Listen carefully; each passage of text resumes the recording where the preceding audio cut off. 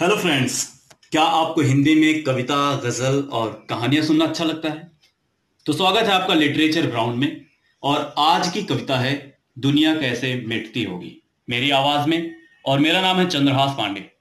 इस कविता को मैंने ही लिखा है आज से पाँच साल पहले और आपके सामने पेश करता हूँ आज।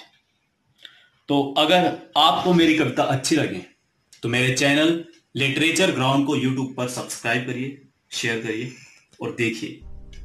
थैंक यू दोस्तों, ये मेरी डायरी है और इसमें मेरी कविताएँ हैं। एक्शन करें। जब प्रकृति के कोमल अंगों पर मानव गतिविधियाँ बढ़ जाती हैं, जब प्रकृति के कोमल अंगों पर मानव गतिविधियाँ बढ़ जाती हैं, जब जीवनदायी धरती पर स्वार्थ की लकीरें पड़ जाती हैं जब निज विकास के चक्कर में पेड़ों की बाहें कट जाती हैं, जब नदियाँ जीवन रेखा से विष की धारा बन जाती हैं, तब निश्चय ही इस जग में काली छाया मडराएगी, सब शनै शनै बिखरेगा और अंत की स्थिति आएगी।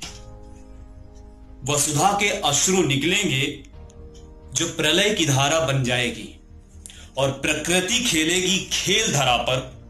सारी दुनिया पिच बन जाएगी। तब चीख चीख के धरती भी मानव से चिल्लाएगी, रे मानव, तूने बहुत प्रहार किया। तूने बहुत प्रहार किया, तीखे स्वादों के चक्कर में बेजुबानों को मार दिया। जिसने तुझको छाया दी, जिसने खुद की काया दी और जीवन जिससे चले निरंतर। वायु की ऐसी माला दी।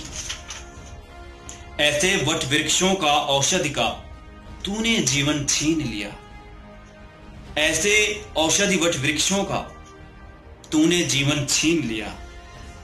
इन सबने जीवन में खुशियाँ दी और तूने इनका अंत किया। देख धरातल गतिविधि को, पृथ्वी भी तब हिल जाती है। औजारों सी दिखने वाली दुनिया में लाशों की दुनिया दिख जाती है।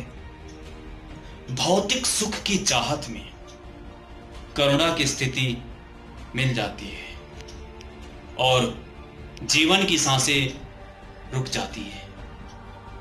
शायद ऐसे ही दुनिया मिट जाती है।